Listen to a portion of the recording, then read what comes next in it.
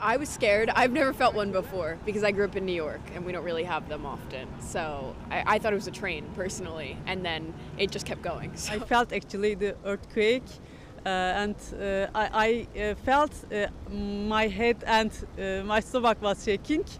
We were in our hotel room and it, we felt this rumbling on the floor, and it felt like there was a subway going under us, but it was longer than when a train would go under. And I thought, is that an earthquake or not? And, and then we left and we came down to Bryant Park, and then we got the emergency alert. So our question is, why was it an hour later?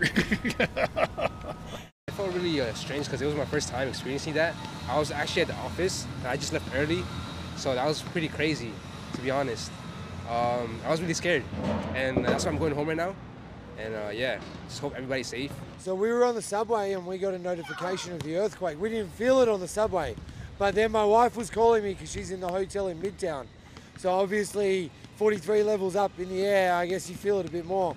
Um, so she felt it, and you know, it's always a bit worrying when one half of your family is in one area and the other one in the other, and an earthquake happens. So, but we're all safe now, which is good.